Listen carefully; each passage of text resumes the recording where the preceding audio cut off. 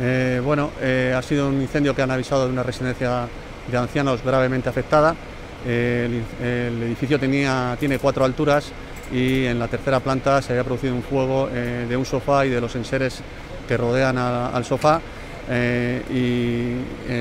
el cual ha ardido en su totalidad y pues, el sistema de climatización nos ha, nos ha llevado el humo a, todo, a toda la residencia, a las cuatro plantas de la residencia. Eh, hemos activado 10 dotaciones de bomberos para, para poder extinguir y localizar, el- localizar y extinguir el fuego y después hemos procedido a la ventilación de, de toda la residencia y a la evacuación de, de 37, de al menos 37, 37 residentes que están siendo atendidos por el SAMUR. Eh, la, la extinción se ha, realizado, se ha realizado con prontitud, pero el humo ha sido persistente en las cuatro, en las cuatro plantas y, hemos y se ha tardado en poder ventilar y en poder asegurar que las 137 personas que, que- estaban en la residencia estaban bien y estaban dentro de sus habitaciones sin ningún problema.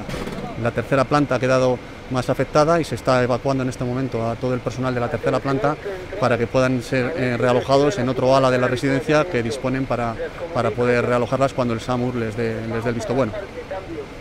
Nos activan para un incendio en una residencia de ancianos. A nuestra llegada hemos montado un puesto médico avanzado donde atendemos a 36 pacientes y realizamos nueve traslados. Hemos acudido con 30 vehículos, 22 de ellos asistenciales y 8 de apoyo para la emergencia.